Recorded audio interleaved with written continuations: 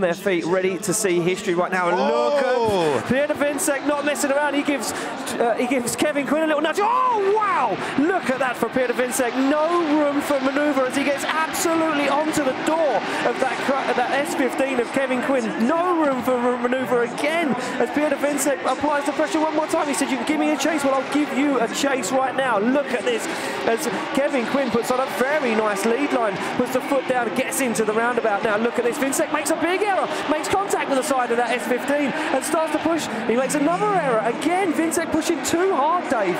He's making errors here, Więcek. He's hit Kevin Quinn twice into the roundabout section. He's got to make this battle his own. It's going to take these next transition and corner to do it. Więcek's got to go for it here. Big dive to the smoke. He can barely see where Quinn is, but it doesn't matter. He starts to push to the door. He's right there as he, oh, contact, wheel to wheel as they come across the line.